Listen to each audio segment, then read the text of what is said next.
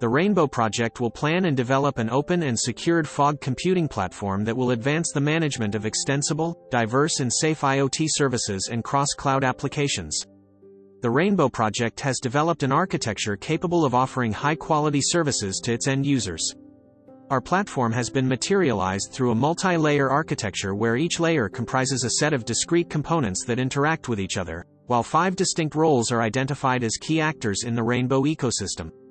The four layers are the modeling layer and dashboard components, the orchestration layer, the data management and analytics layer, and the Rainbow Edge stack.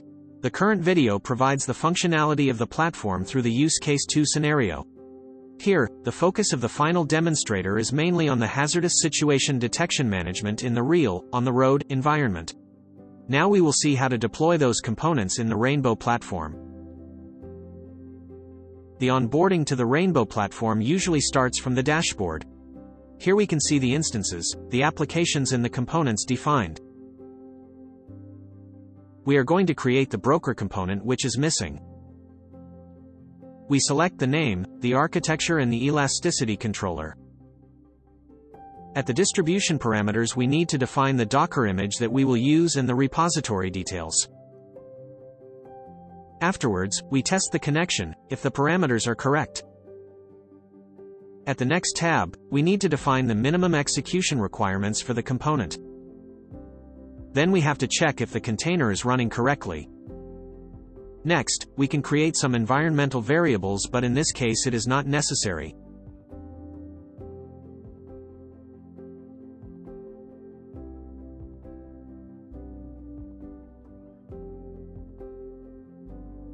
Finally, at the Exposed Interfaces tab, we can define which port is open in the container and we can save this container. Also we can define new ports for other components.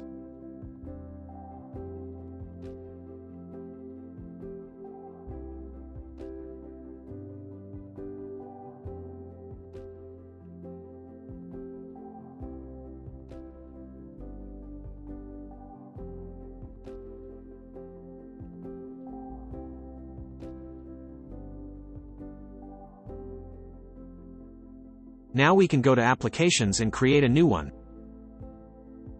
We can select the components and connect the generator and the object detection to the MQTT broker. The application graph is saved.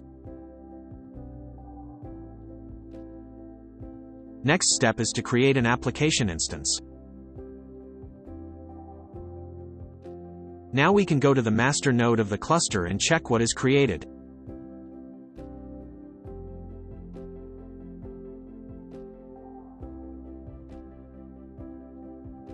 This instance is deployed. By selecting View Graph, we can see the container and the metrics.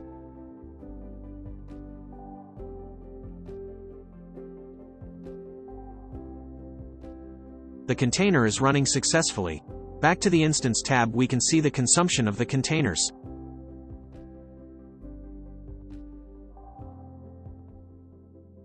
S, L, O, define the behavior of the containers.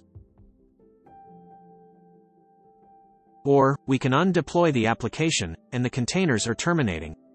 The end users that incorporated the Rainbow platform in deploying their applications reported that Rainbow managed to positively impact crucial parts of their workflow achieving reduced latency and power consumption, increased performance and effectiveness, enhanced security and improved usability.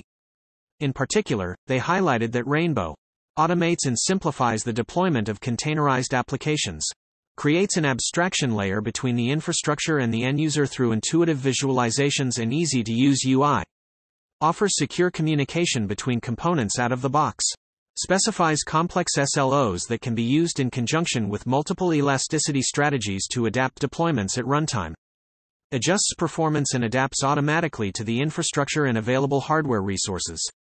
Thanks for watching. If you want to learn more about the Rainbow platform and project, Visit our website and follow us on social media.